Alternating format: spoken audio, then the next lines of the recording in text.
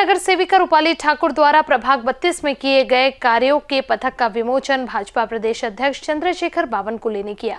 इस अवसर पर शहर अध्यक्ष प्रवीण दटके विधायक मोहन मते, दक्षिण भाजपा अध्यक्ष देवेंद्र दस्तूरी, भोजराज डुम्बे परशु ठाकुर उपस्थित थे।